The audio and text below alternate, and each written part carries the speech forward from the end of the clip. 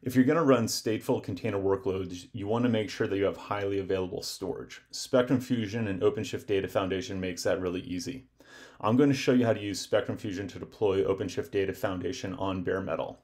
So I have an OpenShift cluster here and I've installed Spectrum Fusion. You can see that under installed operators. And if we take a look at uh, the nodes, you can see I'm running a three node cluster, right? Pretty small. These are storage rich nodes though. I'm installed on bare metal. And that's what I'm going to use uh, to get this up and running. So what I'm going to do is I'm going to launch the Spectrum Fusion GUI. And I want to set up services. And so you can see that I have three services available right now. My backup restore service, global data platform, makes data available all over the place. But what I'm really interested right now for this demo is OpenShift Data Foundation. And let's just go ahead and click install. Um, you can see that there's no real options that I'm going to have to select. Uh, Spectrum Fusion is going to automate everything for me. Um, when I click to install this service, um, first Spectrum Fusion is going to install uh, the ODF operator. And then it's smart enough to know that I'm running on bare metal. And so it's also going to install the local storage operator for me. Now, the local storage operator is used to examine the nodes in the cluster and to find storage devices. This is going to take some time, so let's go ahead and skip ahead.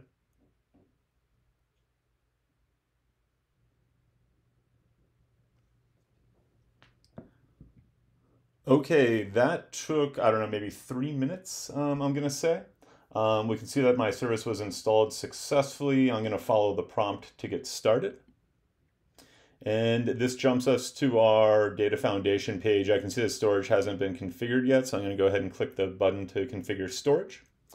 Uh, now, remember, we uh, Spectrum Fusion automatically installed that local storage operator for me, and it configured the device scan. I didn't have to do anything. All I did was install uh, the ODF service, and so We've identified that these three nodes, you may recall we saw those earlier, um, have uh, storage. Uh, they have four disks each. Um, you can see how large each one of those are.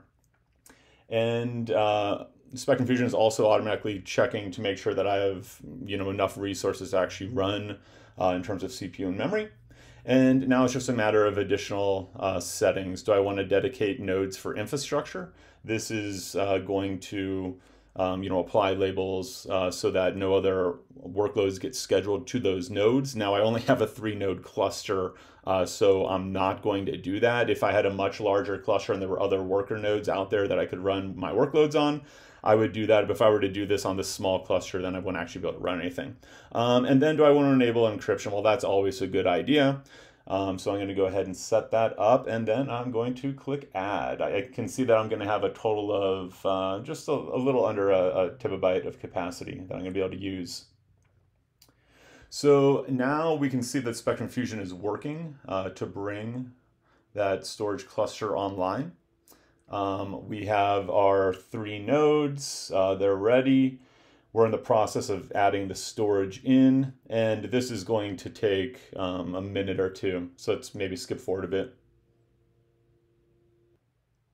Okay, my cluster is up and running. I can see that my storage cluster is healthy, my data resiliency is good, and I have all that uh, capacity just provisioned out. I haven't used any of it yet, right? Uh, so now I'm ready to go and actually deploy my stateful workloads in this cluster. So really it's that easy. Spectrum Fusion really simplifies how I deploy OpenShift Data Foundation onto bare metal. Um, you may recall the only option I actually even chose was whether or not I wanted encryption enabled. And then everything else gets taken care of for me automatically. Now we can go ahead and launch and view this in OpenShift and that'll take us directly to our data foundation view where I can actually start to see, you know, my storage workload. I can see any events or activity uh, that are related to ODF. And so uh, there you have it, highly available storage from OpenShift Data Foundation. And, you know, setting it up was trivial using Spectrum Fusion.